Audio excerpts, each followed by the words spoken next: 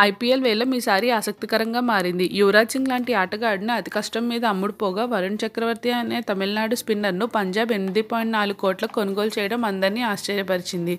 గత సీజన్లో జయదేవ్ ఉనత్కత్ను పదకొండు పాయింట్ ఐదు కోట్లకు కొనుగోలు చేసిన రాజస్థాన్ ఈసారి అతన్ని ఎనిమిది పాయింట్ నాలుగు కోట్లకు సొంతం చేసుకుంది. రాజస్థాన్ రాయల్స్ జట్టు వివరాలు. Ajinkya Rahane, Krishnappa Gowtham, Sanju Samson, Jaydev Unadkat, Shreyas Gopal, Aryaman Birla, S Mithun, Prashant Chopra, Pinni, Rahul Tripathi, Ben Stokes, Varun Aaron, Oshane Thomas, Steve Smith, Jos Buttler, Jofra Archer, Ashton Turner, Liam Livingstone, Manan Vohra Shubham Ranjane, Shashank Singh, Riyan Parag, Ish Sodhi Dhawal Kulkarni, Mahipal लॉमर।